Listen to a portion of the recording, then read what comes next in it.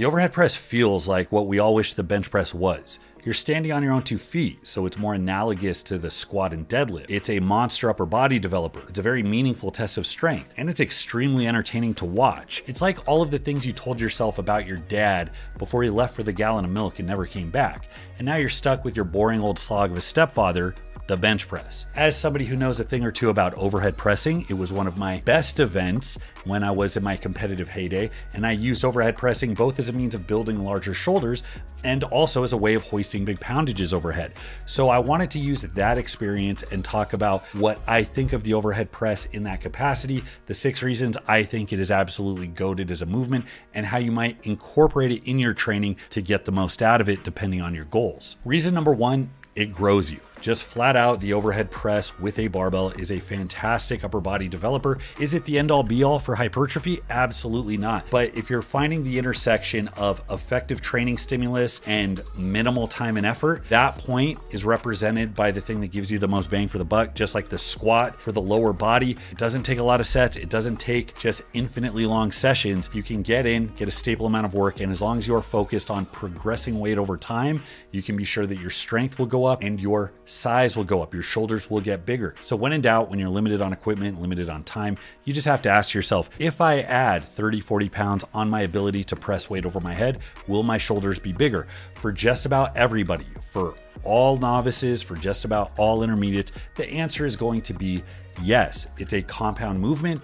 It puts you through a wide range of motion. It's versatile. There's a lot of different ways that you can do it to induce hypertrophy. But the bottom line is there are very few exercises for your upper body that have such a one to one correlation. So improving your overhead press, a very good, very easy proxy for getting size and getting strength in your upper body. Reason number two, I love it. It is scalable and versatile. So, in talking about it as a means of building bigger shoulders, it's important to know how you can tweak it and change it to suit your needs. If you are very hypertrophy oriented, it's going to be in your best interest to use a variety of tactics. So, if you have a lot of time and access to equipment, you'll use dumbbells and cables and various movements to get the job done. But if you are limited to a barbell, you can play with the grip. You can go wider or narrower. You can go in front of your face or behind the neck. You can do partial ranges of motion. When you look at a lot of exercises that get recommended for their strength and size benefits, some of them that are really good exercises aren't quite as easy to get into. They're not as accessible. When you look at like body weight calisthenic type movements, if you're a little bit heavy, but you're not quite as strong yet, things like dips, which are a fantastic exercise, they might be a little harder to get into. So having something that starts at the weight of an empty barbell and can be scaled in two and a half pound increments all the way up, and you can micro load, you can make very small adjustments, you can incorporate different types of loading. There's a ton of options you can do to move the overhead press forward. And for just about everybody, except the most advanced and specialized lifters, you can be sure that every pound you increase your overhead press by is going to correlate to meaningful strength and meaningful improvements in muscularity. Reason number three, there are just tons of carryover to other activities. Getting strong in the bench press generally is a good sign that your upper body's strong, but one of the holes in it is that it was the default upper body test of strength, but it doesn't have a ton of direct carryover to other upper body type movements. A perfect example is in the NFL combine. Not only do they use a bench press, but they use a very light bench press for high reps. Now, all things being equal, the person who has a higher bench press is very likely to be better at pushing and shoving and hitting and so on. But because of the specific nature of a bench press being pinned against a bench, being very stable, not standing on your own two feet, and pushing in this direct plane away from your body, it's not as good of an indicator of how you're going to do on the field.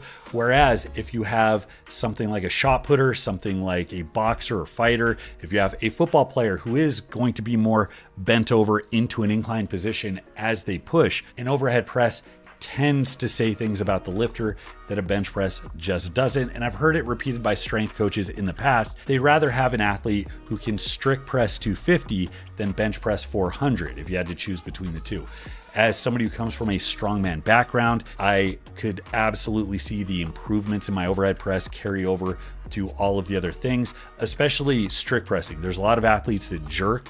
And I found that by increasing my push press and my strict press, I was able to more easily handle odd object presses, dumbbell presses, log presses, and so on. So its usefulness for other types of athletes and for other types of strength movements is really unparalleled. It's a great movement. I have to take a brief pause to thank this channel sponsor, Barbell Apparel. Barbell Apparel puts out high quality clothing that meets the performance needs of athletes and lifters alike while comfortably fitting the athletic body the way that other clothing brands simply do not.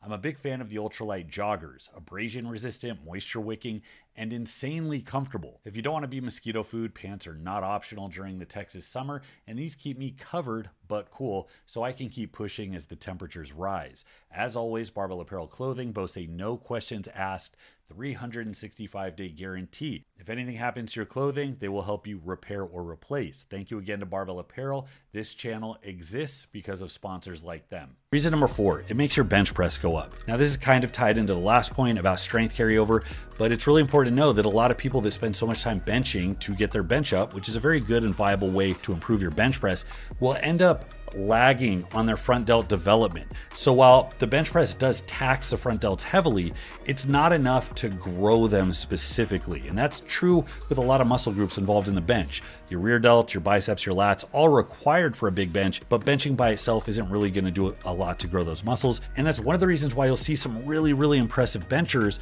who have overhead presses that kind of lag behind, where you have somebody like Jeremy Hoornstra who has like a 675 bench. And I think the most I've seen in military press is uh, seated, something on the order of 405, where you have a strongman like Jesse Nelson who really only focuses on overhead pressing and can do a 410 or 415 standing strict press, and his bench is something on the order of 550. Now, given how little bench pressing strong men do, you have to understand that the strength they have is almost a direct byproduct, or it tends to be a direct byproduct of the overhead pressing. Now, if you are a bench specialist, this is a bit of a different story. I talked to Sam Sheether about this directly. He is an extremely strong bencher, something on the order of benching the mid to high fives. And his take was that the front delt really helps him get the bar back over his face when he's pressing that curve but he felt that that stopped giving returns up to a point. So for the most advanced specialized pressers, you're probably going to find that more bench specific work is warranted to keep that train running forward. But for just about everybody who's been benching, benching, benching, and has gotten a little bit stale in how that's been going along, take honest inventory and how strong your shoulders are, how much time you, you've spent doing delt specific work, and ask yourself if you have room to get some quick and dirty gains on your strict pressing, because I guarantee for just about everybody that is going to directly carry over to your bench pressing ability. Reason number five, and this is purely anecdotal, but it seems to be less problematic as far as injury rates than benching. Now, the reason I say that is because I've been competing in strongman for a long time. We do some crazy stuff. You're seeing log presses get over 500 pounds. You're seeing circus dumbbell presses getting over 300 pounds. I mean, the weights are getting done. Even in the middleweight divisions, there's some crazy weights being lifted. I am not aware of a lot of guys that have really had uh, shoulder problems pop up on a frequent basis from all the overhead pressing we do. Whereas benching seems to be more injurious in uh, competitive circles. You'll see uh, pec tears, sprains, ruptures. You'll see all kinds of problems with the pec and with the shoulder. I know guys, as they try to up bench frequency, will experience a lot of chronic problems in their shoulders. It doesn't seem to be so much the case with the overhead press. Now, I don't know if that's because it is uh, a lighter movement because you're standing on your own two feet, so you're not as braced. You can't handle quite as much load because it's a little bit less stable. I don't know if it's because smaller muscle groups are being used. You can't bring the bigger muscles of the pecs into it. So it might be a load issue, it might be a stability issue. All I know is that in my years competing, I haven't seen nearly uh, the amount of issues arise. That's not to say that they won't. Uh, tweaks, sprains, little issues, you might get impingement, you might get bursitis. Me personally, I went through four months of no overhead pressing. My shoulders hurt way more than they ever have before. I started overhead pressing, the pain is gone now. I mean, when I wasn't doing the thing that I thought was causing my shoulder pain, I couldn't reach up to get a mug out of the cupboard. Two weeks back into the swing of things of overhead pressing. The pain's almost gone. I've heard that from other people. So that's a, a, little bit of voodoo right there. That's not a hard, fast rule. It's just a little bit of anecdote. But any movement where you can feel pretty secure in pushing the envelope uh, without the likelihood of something going sideways, even if it's just your perception that you're less likely to get injured, you're likely to take it farther, take it a little more seriously. So that is absolutely a big win. Thing number six it's fucking fun to do. And this is probably the most important thing. You would think this is the least relevant, but I actually put this as one of the most relevant things because the thing that you are going to get best at is the thing you love to do. Now, if you are just driven by the idea of building the 3D delts that are just as big, as detailed, as well rounded as possible, you probably love the idea of doing four, five, six different exercises throughout the week to hit all those odds and ends. You probably like all the different rep ranges. You probably like those modes of progression that are associated with bodybuilding type movement. And if that's you, that's fantastic. For other people that have goals that are a kind of blend of size and strength. For those of you that really like fixating on lifts, that like sinking your teeth into a movement that you can chip away and get better at, this is absolutely one of the best ones to do. It's fun to test PRs. It's fun to push yourself uh, in different modes if you've been strict pressing for a long time and you've never push pressed. It's fun to chase those push press numbers. And in competition, it's absolutely fun to watch people overhead press, strongman, log pressing, dumbbell pressing, even axle pressing, which is basically just a barbell with extra steps is so much more entertaining than something like bench pressing. So once you start to, to sink your teeth into these, you start to go crazy chipping away at these feats of strength. It just adds so much to your training because you're excited about it. You look forward to it. You want to demonstrate that strength more.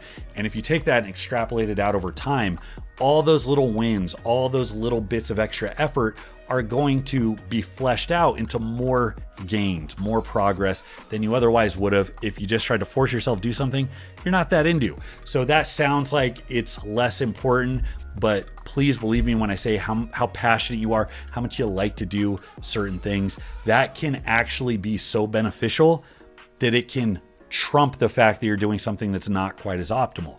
But as we've covered, the overhead press is still just a fantastic exercise. So take from this what you will. I'm a huge fan of it. It's one of the reasons I've excelled at it so much. So let me know in the comments section what you think. What's your favorite version of it? Have you been neglecting it for years and now you have tiny little pea shoulders that you need to fix? Or is it a staple exercise? How has it helped your other lifts? Let us know in the comments or take it to Patreon. That's where I upload my training weekly. And that is also where I answer questions. I give life advice, form checks, any way you want to get in contact contact with me, that is the best way to do it. Thank you so much for watching, guys. Till next time, this is Bromley. I'll see you.